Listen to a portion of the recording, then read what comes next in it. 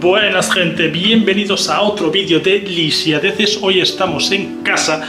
Voy a enseñaros más o menos los ejercicios que suelo hacer, no todos porque no voy a hacerlos todos, que no me va a dar tiempo, pero sí un par de ejercicios que hago como la rutina que tengo yo para ganar la flexibilidad de vuelta en el tendón de Aquiles y poder ir recuperándome poco a poco. De todas formas, también este vídeo, en principio, es que soy gilipollas, tío, soy gilipollas. Este vídeo en principio iba a ser bajando la pista, que tengo una pista aquí de básquet del lado de casa, iba a ir a echar unas canastas y demás, bajo, bajo tan pancho, voy hablando, papá, haciendo el vídeo, no sé qué, no sé cuánto, llego a la pista y no llevé, no llevé el balón, no llevé el balón.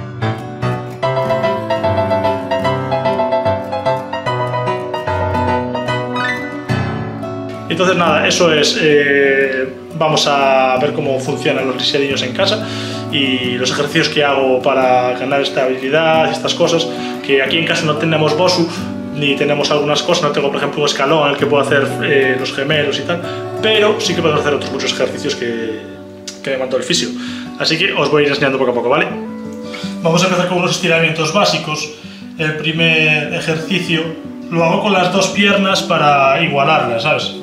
Entonces es desde aquí, más o menos, a ver, que llegue a tocar, desde aquí no llega, un poquito más adelante, desde aquí a tocar con la pared la rodilla. Esta es la pata buena. Hacemos 3 por 10 y después lo que hacemos es con la pata pocha, con la pata lisiada, hacer el mismo ejercicio para intentar llegar a ganar la misma flexibilidad que tenemos ahora mismo en el tendón de Aquiles derecho. ¿Vale? Lo ponemos a la misma distancia ahí y empezamos ya cuesta más, ¿eh? si no del principio, sobre todo ahora que estoy empezando a calentar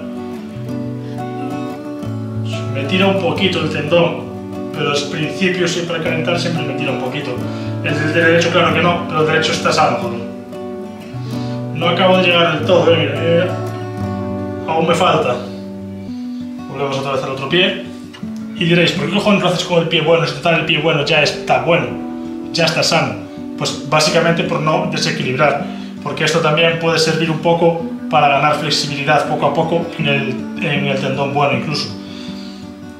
Entonces me viene bien ir incluso separando un poquito más e ir probando hasta donde llega el tendón para ir ganando un poco de elasticidad. Volvemos con la pata pocha.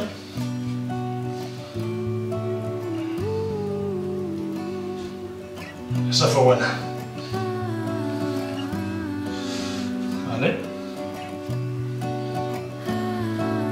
Tiene que ser un movimiento controlado, no puedo darme de rodillazos contra la pared, ¿sabes?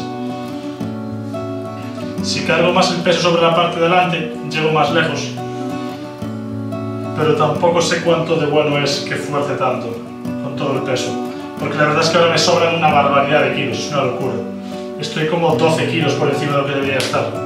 Bueno, estoy como 12 kilos por encima de lo que estaba cuando estaba en mi prime, pero claro, estaba estamos hablando de hace prácticamente 10 años. Hace 10 años no, voy a no creo que pueda bajar tanto peso como estar como hace 10 años. Supongo que también mi estructura ósea se habrá ensanchado más, eh, ¿sabes? Los hombros, ya los huesos y los músculos ya pesan, son más malos y supongo que no podré volver a bajar a ese peso, que eran 82 kilitos. Pero la idea es intentar aproximarse lo máximo posible sin tampoco fijarse mucho en los kilos, porque yo realmente ya lo dije alguna vez en una de estas veces. Yo realmente lo que quiero no es tanto llegar a los 82 kilos, como eh, fortalecer y mejorar lo máximo posible mis habilidades físicas, sí, sí, como todo, sobre todo rollo explosividad y agilidad, que es lo que más me interesa a mí, principalmente, porque el baloncesto es lo que más se destila en realidad. Eh, fuerza, sí, yo tengo bastante resistencia de por sí, no creo que me haga falta mejorar esa parte en mi posición. Si fuese a jugar de interior, pues igual ni siquiera me hacía falta perder peso, sino ganar más contundencia. Pero bueno, así estoy bien por ahora. Para el siguiente ejercicio lo que vamos a hacer es, es una cosa muy... Necesito un taco o algo.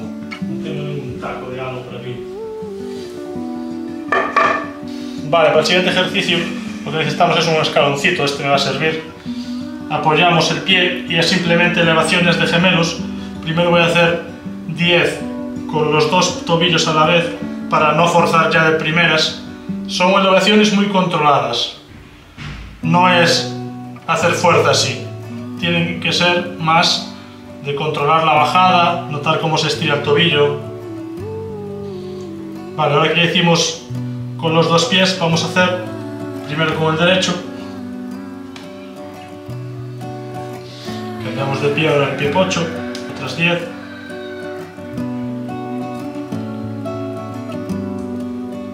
Este escalón no es el mejor del mundo, pero bueno, es lo que tengo por aquí por casa, así que es lo que tengo que utilizar. Estaría bien que fuese un escalón más profundo para poder bajar más el tobillo y estirarlo del todo, pero después haremos estiramientos. Vale, ahora viene un ejercicio ya un poco más duro, que habrá gente que diga, es una puta mierda. Bueno, pues ando tú, guapo, yo estoy como estoy y tengo que hacerlo, ¿vale? Tengo hecho ejercicios con mucho más peso, pero esto es lo que puedo hacer por ahora. Sin apoyar la rodilla de atrás, con una pesa, pasarla por aquí para hacer estabilidad. Cambiamos de pie para ganar estabilidad en los dos, aunque con este no va a costar tanto. Uf, uf, uf, no es demasiado rápido, es normal.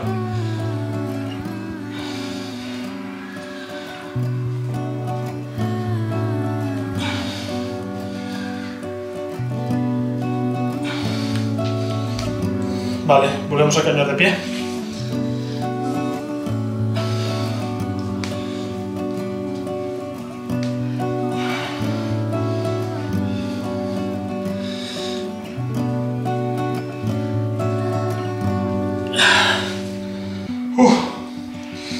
Empieza a tirar, sobre todo por la parte de arriba de la rodilla. De aquí para arriba empieza a tirar un poquito los gemelos, el tobillo guay, el tobillo cero problemas por ahora. hacia afuera.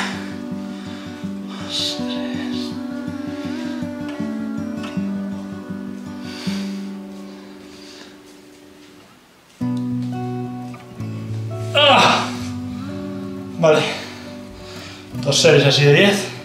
Es que tengo peso, si no habéis hecho muchas más series, es la verdad. Sin tocar con la rodilla en el suelo de este lado, este, este tobillo que es el pocho, en equilibrio, 90 grados, 90 grados, levantamos de adelante, levantamos atrás. Una, dos, nueve, diez. ¡Ah! Este sí que es matador, chaval. Con este ejercicio, empieza a tirarte por aquí, por el culo, que flipas. Vamos a hacerlo ahora con la pata buena y así podemos tener una comprobación visual y de sensaciones de cómo estamos de bien en comparación una con la otra en este ejercicio en concreto. No me voy a apoyar en la estantería porque como me la cargue, me piden el divorcio. Ahí. 90, 90. Arriba, Una, dos. ¿Veis cómo este sube mucho mejor de atrás? Mucho más, más cómodo subir. Bien. ¡Ah! ¡Oh! Dios, mis piernas. Reventado me hallo. Sigo si sería entero en cámara estando de pie, pero es que no tengo un palacio, vivo en un puto piso. Vale, ¿qué más ejercicios podemos hacer? Necesito una cinta, no tengo una cinta. No tengo una cinta, o no sé dónde está la que tenía. Tenía una cinta de estas de fisio azul, ¿sabes? De tirar.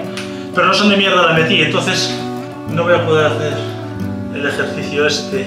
Bueno, por falta de resistencia haremos el ejercicio sin resistencia haciendo mayor número de repeticiones. Normalmente con la cinta la enganchas en los dos pies, este pie te sirve de ancla, abres para ganar tensión y luego con este haces el juego del tobillo. Como no tenemos la, la banda elástica, hacemos solo con el tobillo. En vez de hacer 2 de 10, puedo hacer 2 de 20. 2, 3, 5,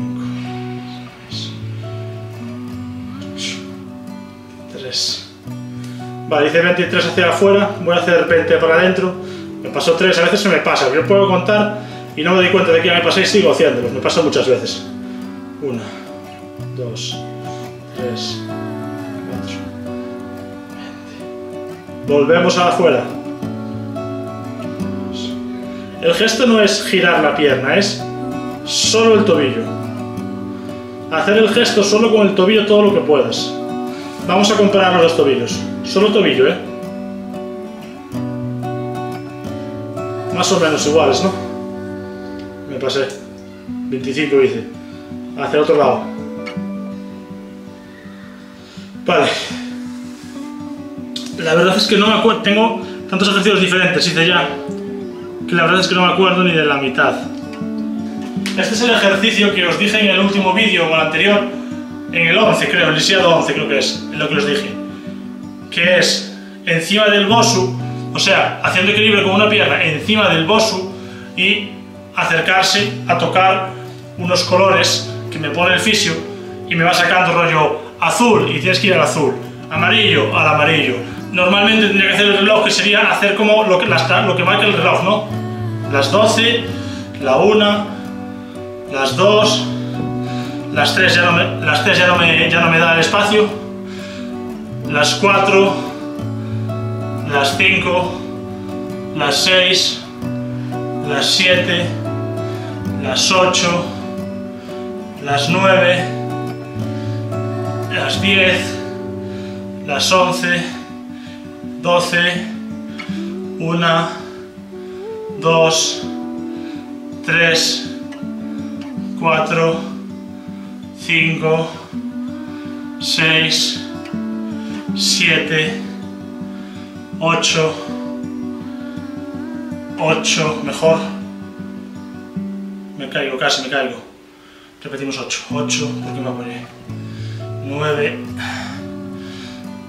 10, 11, 12, última vuelta, 1, 2, 3, 4, 5, 6, 7, 8, 9,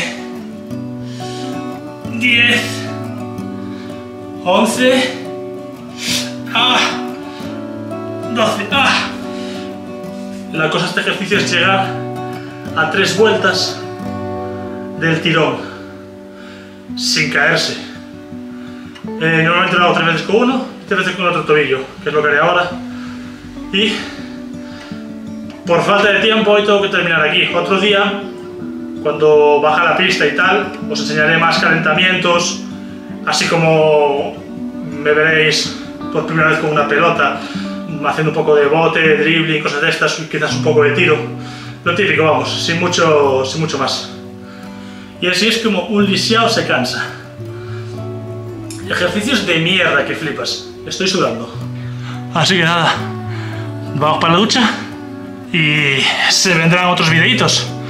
Acordaos de suscribiros, de darle a like y comentar lo que os parezca. Si creéis que hago bien la técnica o no, si tuvisteis una situación parecida y estáis en proceso también de rehabilitación y queréis hacer el proceso de recuperación a la par conmigo, estaría de puta madre. Y también Recordad que la vida es maravillosa, aunque a veces sea una puta mierda, ¿vale? Debería también hacer flexiones y demás, pero no tengo tiempo hoy. Y así es como se cansa un lisiado. Como podéis ver, ejercicios aparentemente sencillos, pero bastante cansados, la verdad. Y ahora nada, duchita y a la burger. Muchas gracias a todos los que veis los vídeos. Eh, a todos los que tengáis pasando un mal momento, ánimo, no rayéis, acabará pasando. No, hay cosas peores siempre, así que no os preocupéis. Ánimo que la vida es maravillosa. Sus quiero, perros. Y ahora dejo así aquí un tiempo de mierda, de repaso. Un tiempo como vale para contaros mi puta vida sin más. Para poner las cosas del final de... las cosas del final de YouTube sin más. Este tiempo no sirve para nada.